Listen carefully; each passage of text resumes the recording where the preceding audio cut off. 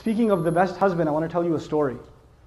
A really good one on this subject, making people conscious of Allah. You don't just invite people to have taqwa of Allah with your words. Your character says a lot. A friend of mine, he became a friend actually on a short trip, told me about how he was raised in a Muslim family.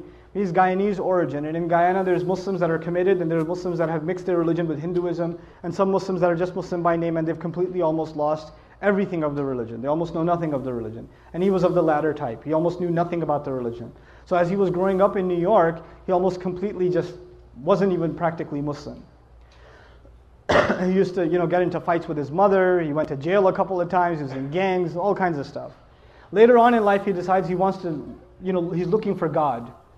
And he knows by, at least by name, he's Muslim. I think his name was Muhammad or something, right? By name, he's Muslim, so he should look into what religion first? Islam. So he starts looking into Islam, starts going to the masjid, starts learning how to pray again, becomes more serious. At the time, he was, you know, he had married his girlfriend who was Christian or whatever. Right? He starts becoming more serious about the religion. And then his wife notices that he's praying. And the beer is gone from the fridge.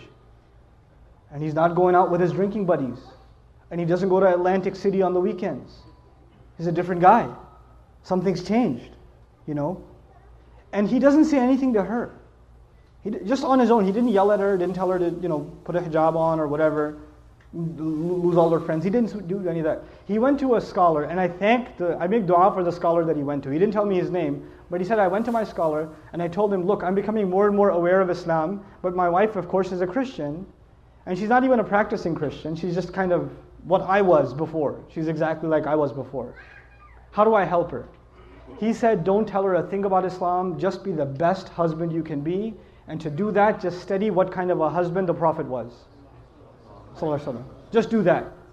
Don't worry about what you need to tell her. Worry about being the best possible husband, and that is the sunnah of the Messenger. The Messenger would buy his wife gifts. The Messenger would joke with his wife. The Messenger would spend time with the mother of the believers. The Messenger would praise and compliment the mother of the believers. He would compliment them.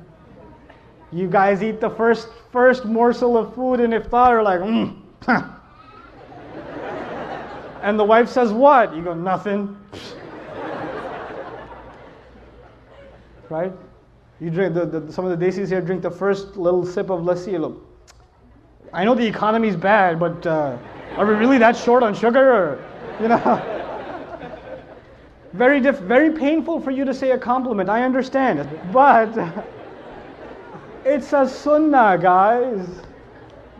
Good food. That's amazing.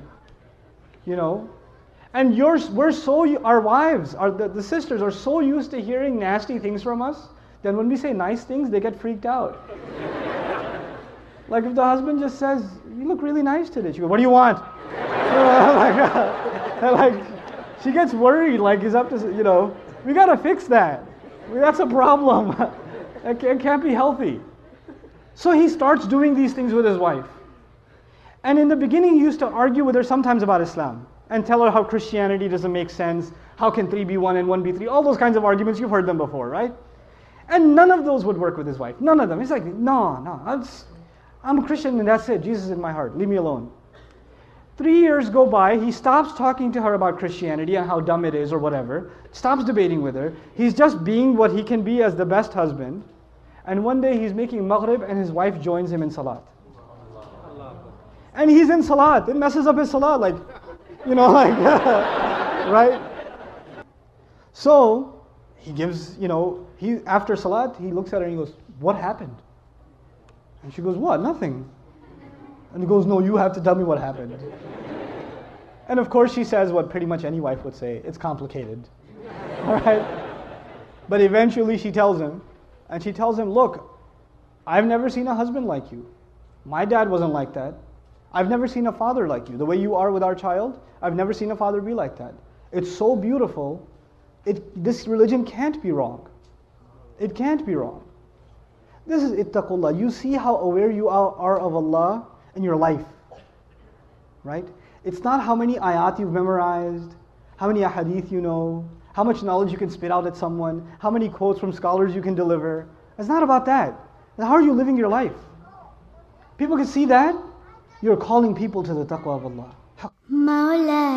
صل وسلم دائما ابدا على حبيبك خير الخلق كلهم